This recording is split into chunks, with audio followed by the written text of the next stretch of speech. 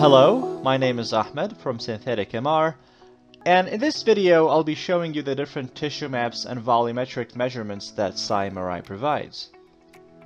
SyMRI stands uniquely as the industry first when it comes to myelin maps, cleared for all ages, including pediatrics, starting at birth and throughout the patient's life.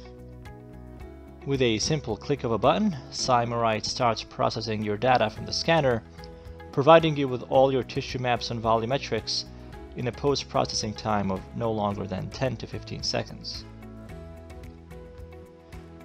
And just like that, you have all these tissue maps and volumetrics. Everything you see here is cleared for all ages, starting at birth and throughout a person's life. So in the top left here we have the white matter map in white, in green we have the gray matter map, CSF or cerebrospinal fluid in blue, and in yellow we have the non-map, where the non here essentially depicts anything that's not strictly gray matter, white matter, or CSF. Last but not least, we have our unique myelin maps, which as you can see provide a very convenient profile of the myelin structure in the brain, making it easy to track with higher precision the myelination or demyelination in diseased or developing brains.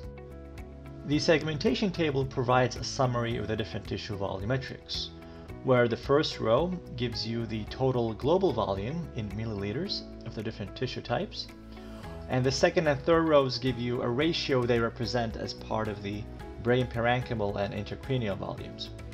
What's more, you also get an automatic measurement or calculation of the brain parenchymal fraction, or BPF, which represents a very important biomarker for tracking brain atrophy and brain size and development in younger patients as well as patients with neurodegenerative diseases.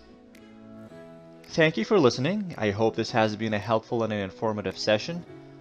If you have any questions, please feel free to reach to either myself or any member of our team so we can help you learn how SyMRI can optimize your radiology practice.